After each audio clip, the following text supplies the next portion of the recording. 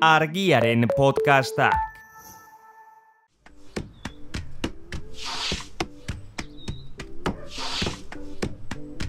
Egon harria, lurrari entzuten nion saioa.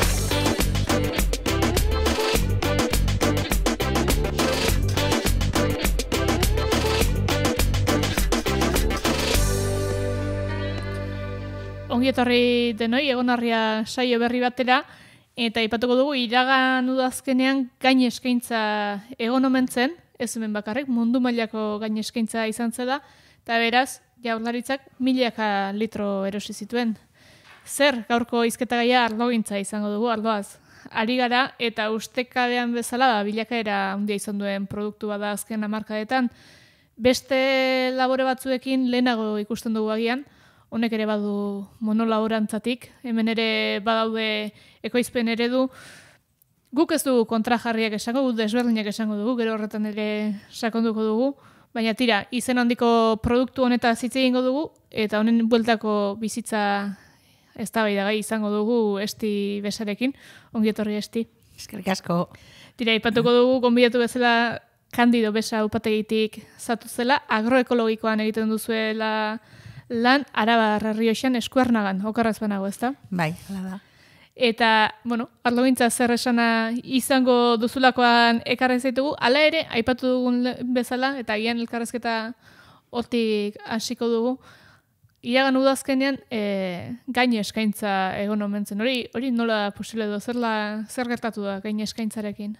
Bueno, gertatu dena da, e, hor hor arazo batzuk e, lo- lotzen dira, ez? Alde batetik e, ez da hainbeste konsumitzen, jetxi eginda kontsumoa e, orokorrean munduan. Orduan arazoa denontza da, upategia handia, txikiak eta denontzat, bai? E, e, batzuk esatute pandemia, beste bat eta Ukrainiako gerra, baina bueno, guk uste dugu e, beste arazo, aldez aurretiko beste arazoak ere e, batzen dira horrekin, eta eta ez dela hori, ez dela bakarrik kontsumoa jaitsi dela. E, a ber, nola saldu. E, gure jatorri zendapenean, e, modelo desberdina daude zuk esan duzun bezala. Eta gure jatorri zendapenak beti eman dio e, garantzia handia kantitateari. Eta justo guk primatzen duguna da, guk esan nahi dut arabako herriosako orokorrean e, upategi familiarrak edo e, hor, bai, txikienak hor gaudenak, ez? Kalitatea da primatzen duguna. E, orduan ez dugu horren beste e, hartzen. Baina, mm, a ber, e, ez dakit, denontzat izan da, jetxiera hori denontzat izan da. Orduan, hor sobran zegoen e, ardoa, sobran zegoen mahatxa eta ardoa, pilatuta zegoen ardoa upategietan. Eta usta berrian ere, e, ba, bueno, ba, kopuru bera hartu behar genuen. Orduan hor, e, nola, nola atera gero hori, ez, eri merduzu ardo edo matxorrekin. E, bueno, esan behar dut, guk ez genuela arazo hori euki, eh? ez dugu gehiegi hartzen, e, kontrolatzen dugu gutxi gora, ez, eta, eta, bueno, eta ez dugu arazo hori izan. Baina, e, hori arazo orokorra izan da. Orduan, em, Euskal Gobernutik proposatu zen en, ba, sobrantzegon ardoa destilatu behartzela. Bueno, nahi duenak, noski. Eta gero, Espainiatik etorri ziren ere beste diru laguntzak ere, e, matx bilketa, baino lehenago ustailan, matx berdea elurrera botatzeko. Eta hortan ere, ba, diru laguntza batzuk.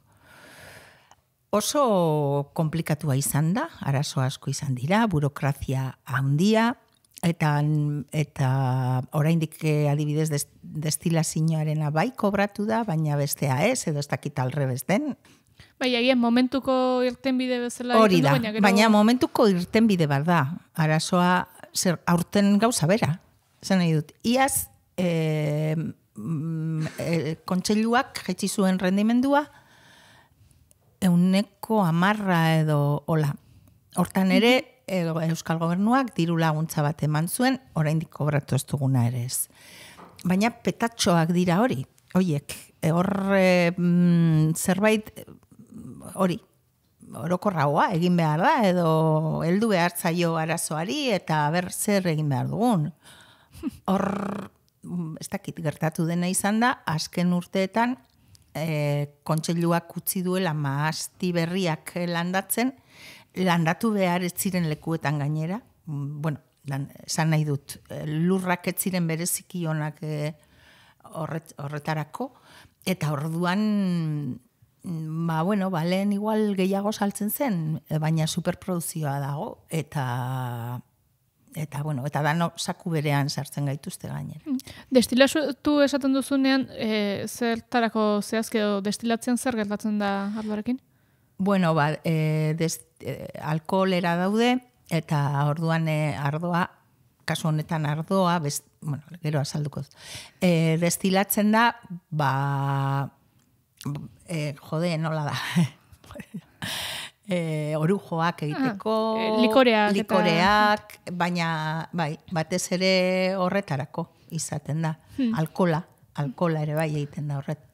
Eta esan duzu, bueno, e, masti berriak agian landatu behar ziren lekuetan eta landatzea pixkatatzera egin gut hortik, eta agian berriak landatu ez, baizik eta daudenak ere badago botatzeko arreskorik edo ikusiko ditugu masti horiek kendu ba, araziko direnik edo?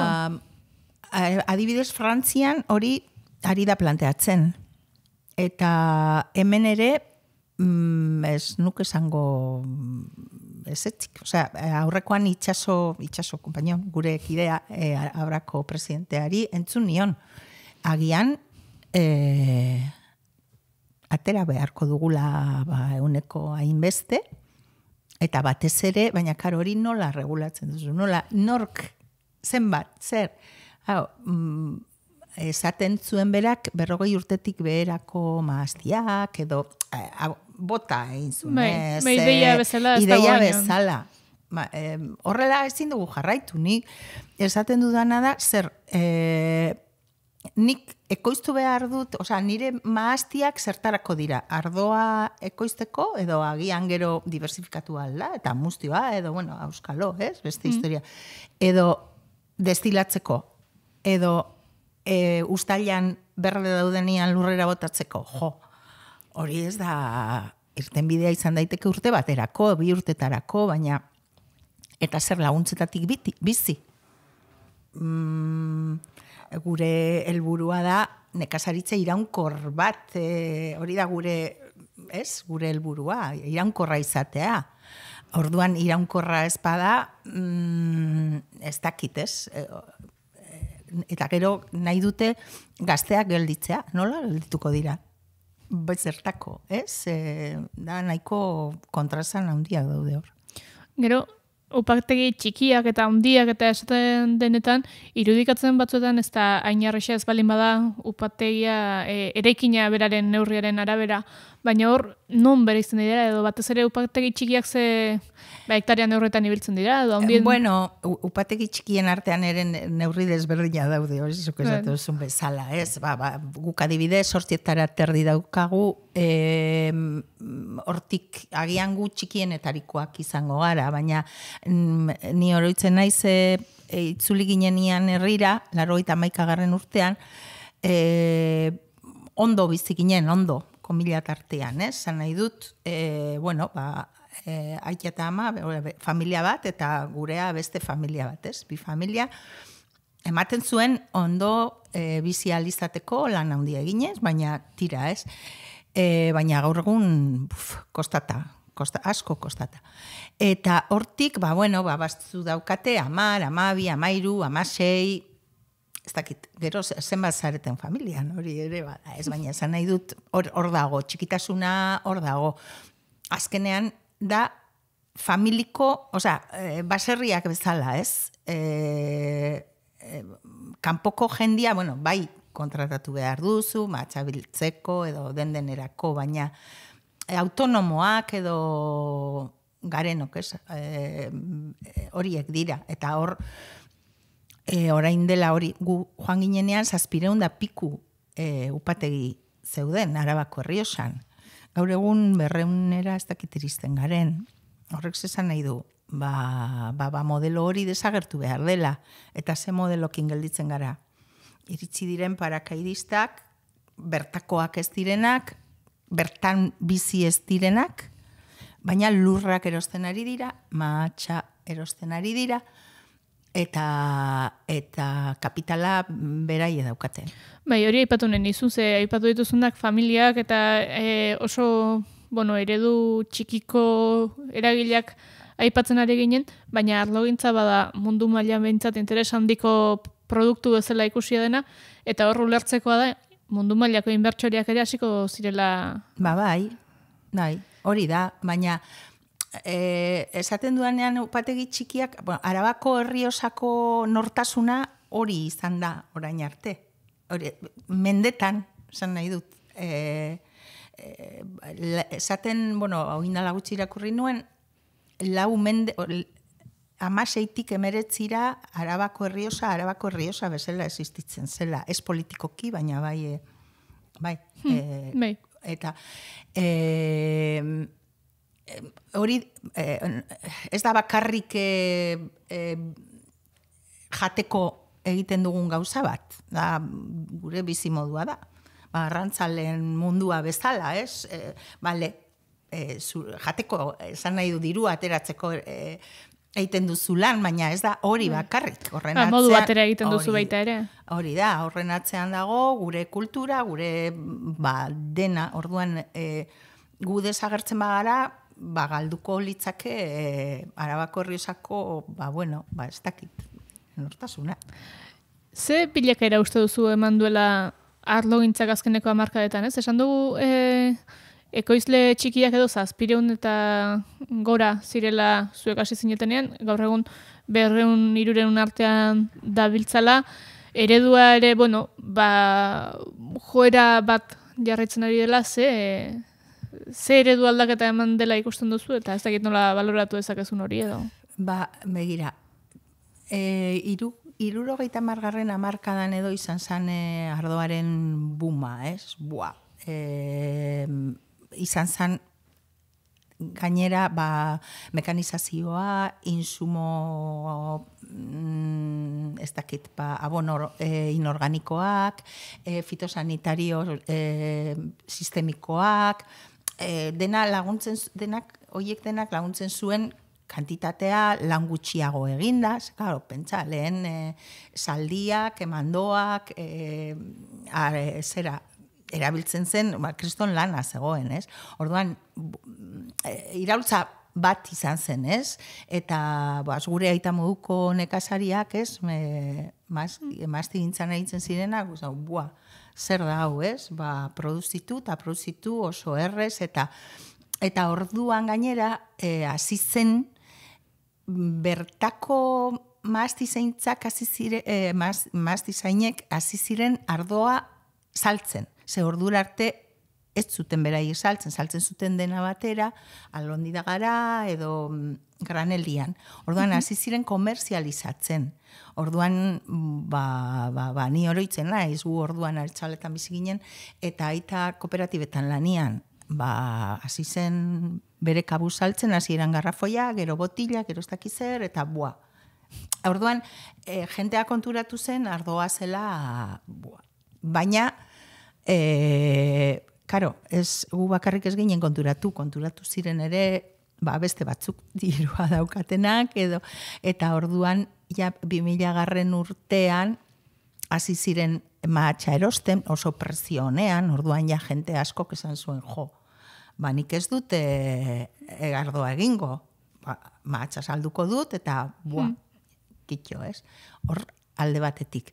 Eta gero ja hasi ziren lurrak erosten, eta lurra hori ez dakit, larriagoa da, nire ustez, ez? E, Gure txian edo herrian esan dugu, jo, lurra, ez da saltzen, lurra da, ez dakit, ez? Gure patrimonio, gurea, ez?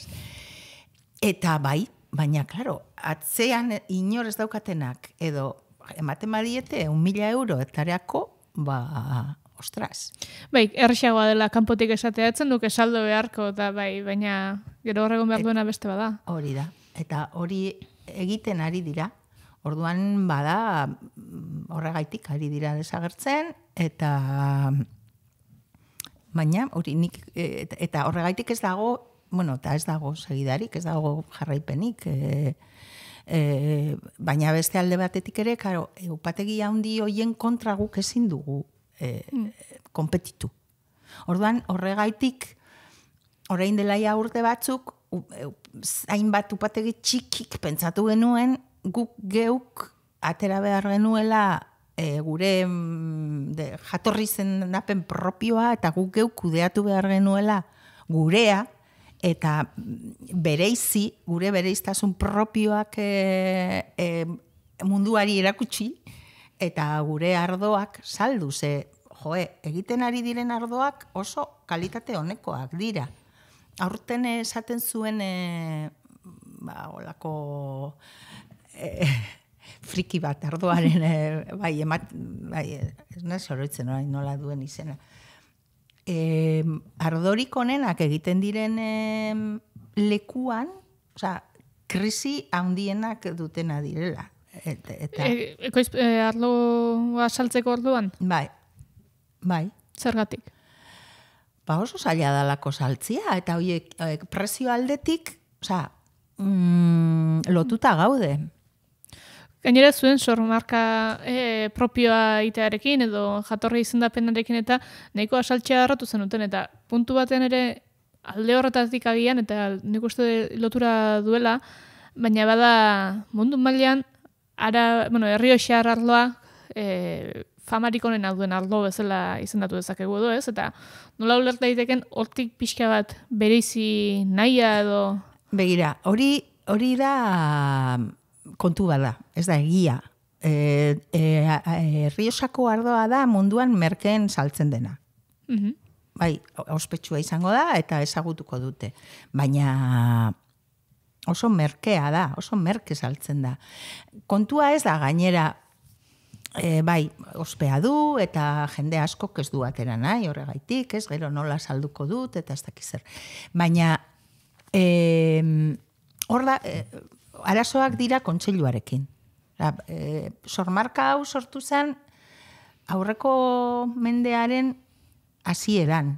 Osea, egun da hogeita bost urte ditu, edo egun da hogei urte ditu. Eta, baina asko aldatu da. Hor gaudenen artean, eh, nekazari edo ardogile txikiek, mm, denon artean, eh? ez arabako riosakoak, daukagu euneko, gara euneko bosta edo, esan nahi dut. E, hor, e, boterea upategi handiek dute. Orduan, gu ez gara babestuak sentitzen, guri trabak besterik ez dizkigute jartzen, bai papeleon aldetik, bai diruen aldetik, bai e, inspekzion aldetik, bai pff, dana da, dana da trabak dira. Eta gero, e, Arabako herriosako mm, berezitasun hori edo submarka hori aurreko mendean ere larogei garren amarkadan ere eskatzen ari zen, eta orduan instituzioek babesten zuten, bai diputazioak eta bai euskal gobernuak. Babesten zuten, eta orduan ja herriosa eh, herriosakoak, eske ematen dit, eh, ez dakiz esatia herriosa, ze hori logorroño zen, apurtu digute herriosa izena ere bai, ez? Esan zuten ezetz, ezetz eta ezetz, eta e, orduan lortu genuen arabako herriosa jarri ahal izateak e, tiketan, baina herrioja baino amar aldiz edo ez dakizen bat aldiz. Txikiago. Hori da, lortu genuen bakarra. Orduan, esan, a ber, gu berezi nahi dugu, eta ez da bakarrik, a ber, kontua da, gu gaude, e, Toloño Kantabria mendizerra eta Ebro artean da. E, hainbat kilometrotako, e, berrogei kilometrotako franja bat, e, zabaleran oso txikia ere bai, baina dago, osea, e- ereguraldi berezia dauka lurra pobrea, berezia maastirentzat. Eta e, maastiak dira gehienak e, txikiak, mal, maldan daudenak, malkatsuak, em, horrek behartzen gaitu gauza asko, lan asko eskuz egitera. Orduan, e, hor eh, zera asko, berezitasun asko eh, biltzen dira, gero handik ateratzen diren ardoak be desberdinak dira. Orduan guk hori erakutsi nahi dugu.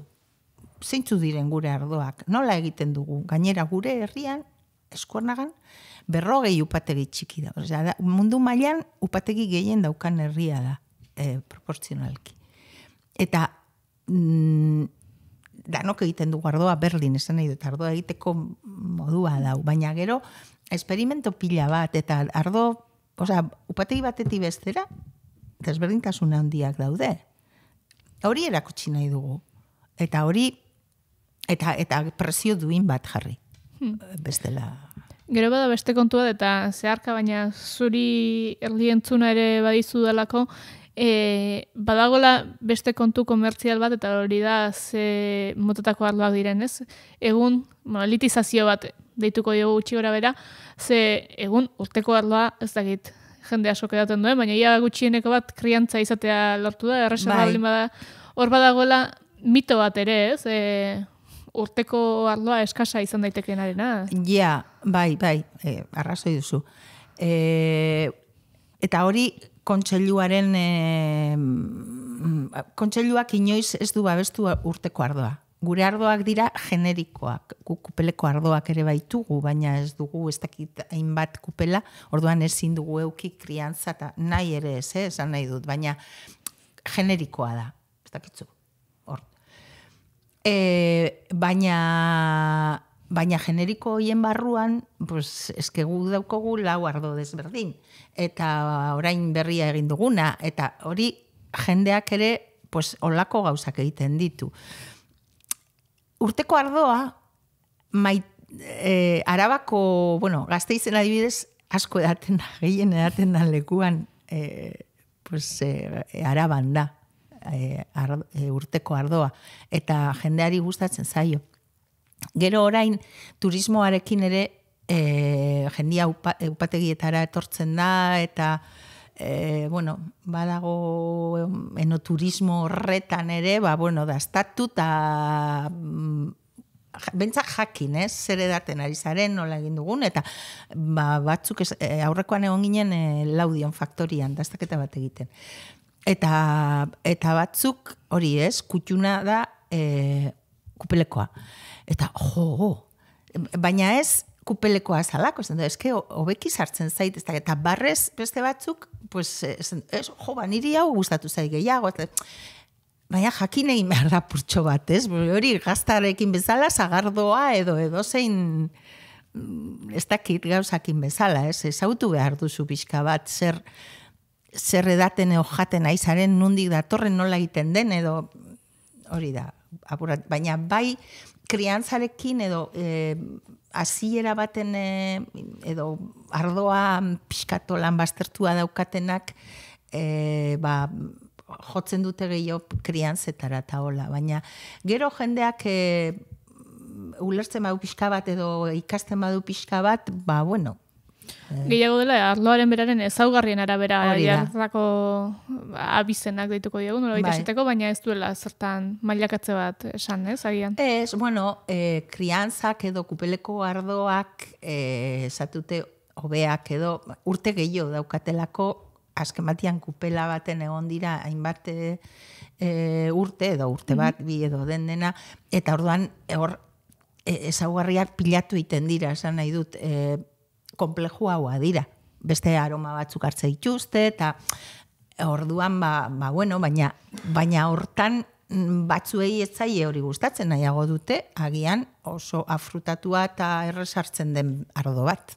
Orduan ez dakit Mastia zai, eh, mastiak aipatu dizkizu denean, hasieran eta pixkat monola orantza aipatzen ausartu naiz, agian mastietan bari, bai hori ikusten delako, ez? Eremu batzuetan eta landarea bera, laborea bera, bertan ongi etortzen delako nagusiki e, mastia, matxa bakarrik Bai. izatearena, ez dakit beste eredurik Bai, badago, bai, bai, bai, bai, bai. lan egiten duzuenean?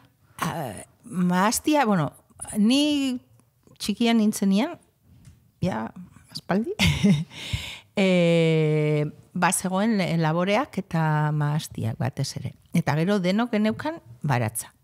Eta gero denok geneuzkan frutalak. Eta denok geneuzkan olibondoak. Eta azkenean lur horrek ondo eman aldituen e, ba, la- landareak, ez? Eta gero denogen euskan txerriak eta eta oioak eta ez, e, gehiago bai, askoz ere em, diversifikazio handiagoa zegoen.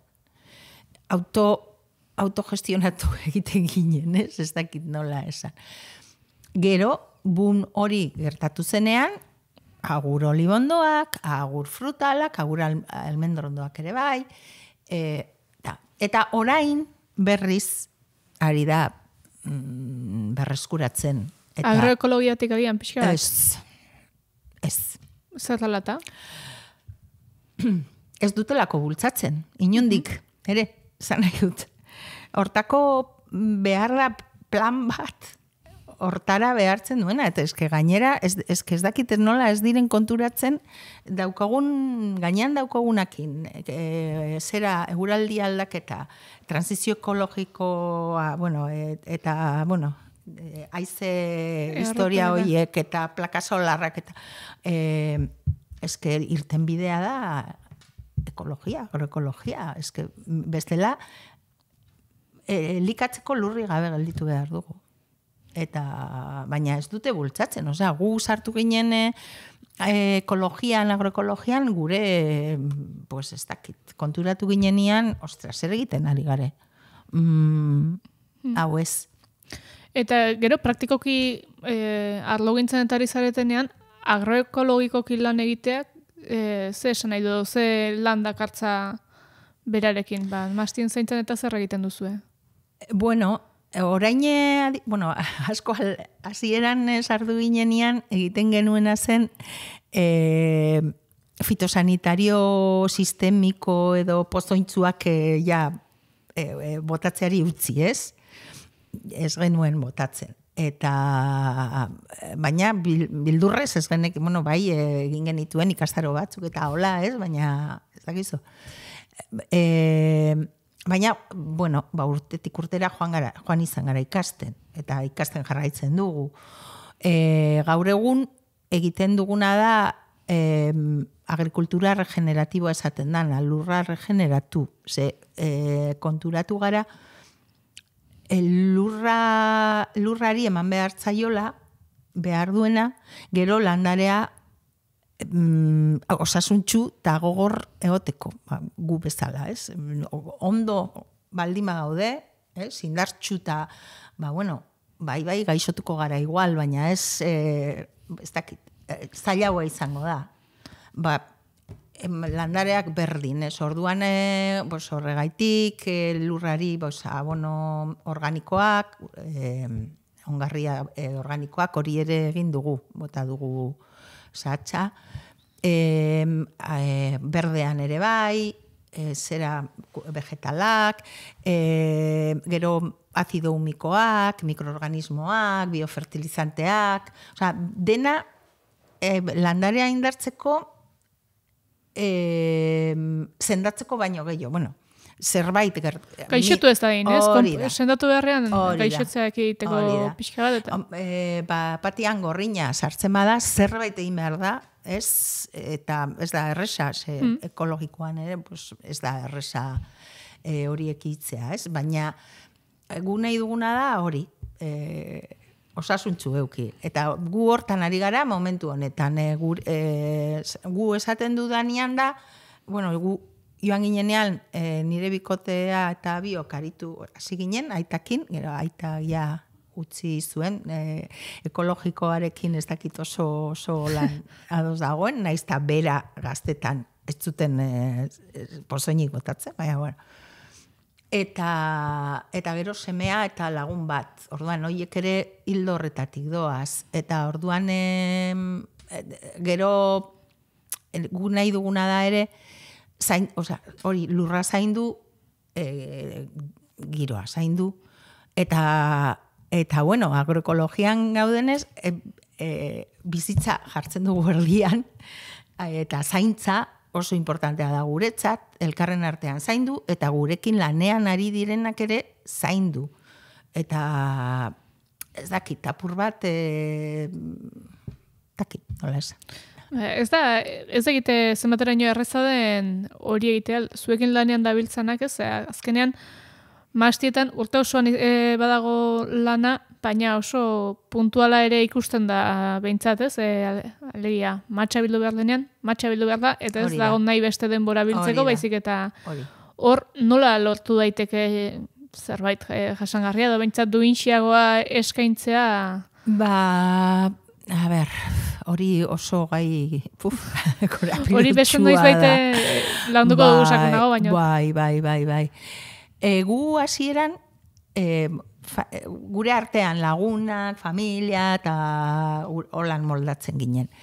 Baina gero ja hortarako ere trabak e, jarri zituzten, ze jendia izan behar zen kontratatua, alde batetik ulertzen dut, ez? E, bueno, bueno, ba, kontratu baten menpe, eta hola, baina ez dana normalan, pues nire aita e, jubilatua dagoelako e, zin joatia maastira, pues ez dakitez, edo, edo azte buruan nire aizpata etortzen badira, pues ez zin urbiltzia. Bueno, baina, bueno. E, orduan, pensa, bueno, pues, eh, eh, honetarako jendea hartu behar dugu, baina e, garai horretan, em, zego, Portugaletik etortzen zen jendea. Baina, eh, etortzen ziren autobusak, baina etortzen zen jefe bat, eta eta hori. Eta, eta, eta bere, ez dakit nola esan, esklaboak ez. Gu- Eh, ordainden, ordaintzen zietenak, eh, bueno, eta gaur egun ere bai, eh? Bai. Ba.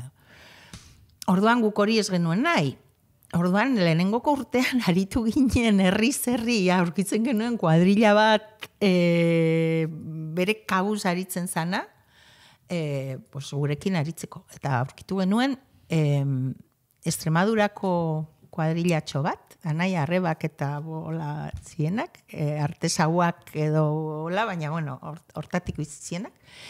Eta andoaingo, ando, edo, Hernani- a- andoain eta hernaniko beste kuadrilla bat eta elkartu genituen. Eta jo oso ondo, oso jente jatorra, eta pues hartu genituen etxean, eta bueno, pues eh, gure zera izan da kontratu bat ondo ordaindu eta ondo egon behar dutela. Gainera, eske behar ditugu. Orduan ze gutxiago, ez? Bai. Eta ba hortik aurrera joan gara, pues hoiek etorzi ez badira, etorri dira bere lagunak apur bat e, gaur egun Nafarroatik eta Bizkaitik etortzen zaizkigu, baina eske etxekoak dira ja. Oso ba ez dakit. Eta bet, eta gero jak, baldin badakigu lagun bat e, langabezian gelditu dena, pues venga, etorri. Horrek dak, dakarrena da, pues igual ez direla aritu hortan eta hasieran kostatzen zaiela. Baina, bueno, beste alde batetik eh, lana egitea gustora eta parreska eta eh, hori handia da. Osea, eta horregaitik gainera, hori lehen esan dizuet ardo berri bat egin duguna, egin dugula eh, amareuna, gure aitona zenaren maasti, egun da pikurteko eh, maasti zar batetik atera eta matxak handik atera ditugu.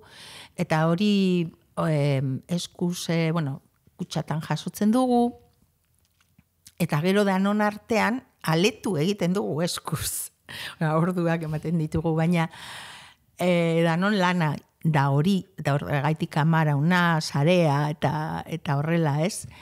Eta, ba, ez dakit, gu, nik ez nuke aldatuko eh, maaz bilketa garaia beste modu, ba, bai etortzen dira e, orain Afrikatik etortzen da jendea, Marrokosetik eta, bueno, eta bederagotik Senegal eta hola, Portugaldarrak ere bai, eta uagaren bitartez ere kontratazio zuzena egin alda, hor importantea. Bai, baldintza... Hori da, baldintza hobetan- ezberdinak, hori da. Baina e, guaka, guagako horrek hori ez da iristen, e, ze, bapatean da, arabako herriosa osoa ari gara matxa biltzen, ez. Baina, eta oso ondo iruditzen zaite, da jendia oso langilea, jatorra, baina horiek lanera etortzen dira, etortzen dira, bueno, denok, eta gureak ere bai, baina esan nahi dut, beste kontzepto bat dala. E, ba, orduko hainbeste eta zenbat eta igual ez dute ez da gelditu nahi mokautxo bat iteko edo beste ritmo bat da. Ba, hori neurriaren arabera ere agian pixka bat aldatuko dela pentsatzen dugu. Badakit gainera beste upategi batzuetan ere ari dela, bueno, ba, eredu aldatu nahian edo ikusita e, egoera zein den, ba, aurrera bidea Bai, aurkitu nahian, bai, eta bai. ere aipatu dugu, agian ez dela arlogintzaren garai eh, loriatxuena edo Ez. politena azkeneko urte ontatik ikusten ari garenagatik behintzat, baina, bueno, esperantza begira bat botako diegu eta aurrera begira, galtu nahi dizutea, zure ustez ze e, mentalitate aldaketa edo ze gako aldaketa, edo ze, zein diren gakoak agian, hobeto esan da, aurrera begira, ba, logintza izan da din sektore bizigarri bat. E, instituzionaletik eman behar dela kriston aldaketa. Bestela ez goa sinora. E, e, badakit proiektu batzuk da, bueno, edo lan batzuk daudela, mendik hogeita mar urtera, nola evoluzionatu, eta eta ekologikora, agroekologikora aldatu behar dugu. Derrigorrez. Eta, eta beste modu batean lan egin eta kalitatea noski eh, kalitateari garrantzia eman. Baina hori gu bakarrik bai, ba gaude, ba gaude. Eh, Arabako Riosan, pues, pues, zenbait upategi gaude, gure modukoak, eta hortan ari garenak, baina ez dakit, hor, eta e, konsientziazio hori mm, eman behar da. Eman behar da. Eta jo, nik eske hor ikusten dut etorkizuna. Ez, bestela ez dut ikusten, eh? Benetan ari naiz. Ez, ez da, oza, ez dut ikusten. Horrela jarraitzen badugu lurra, mm, pff, ez dakit, zertan geldituko da, Ez- izango da hautsa. E, eta, eta gero ardoa nun saltzen duzun, zer hori, ardoa produzitu eta produzitu zertako. Be, aldatu behar dugu, aldatu behar dugu, baina hortarako la- laguntza eta ez ekonomikoa. E, ez dakit. E, aldatzen ari garen, bueno, edo, nahi nuke, e, eguraldia dela eta ba, jendia ari dala kontzientziatzen, eta pues, eske hau gauza bera da dena doa lotuta. Elikatu behar dugu, elikatu behar dugu, elikadura soberautza behar dugu.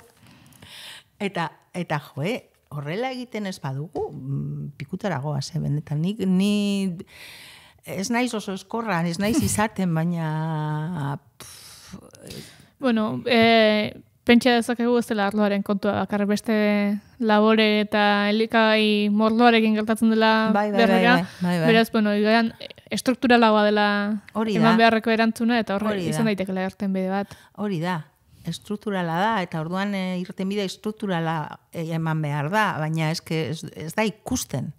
Ez da ikusten, pff, ez dakit, e, orain ere Frantzian ari dira eta ez dakit zer, baina